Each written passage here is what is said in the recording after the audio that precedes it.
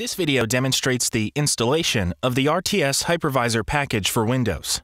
This is the unzipped package content you receive from RTS via a download link.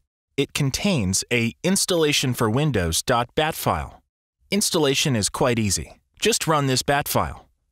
Now the installation is done, all it requires is a reboot. Once the RTS Hypervisor is installed, the bootloader will appear please select the corresponding configuration entry. After a successful boot with the RTS hypervisor, you will find the virtual network adapter within the adapter list. By default, it has the IP address 192.168.2.1. Now you can telnet into the RTOS, which owns by default the IP address 192.168.2.2.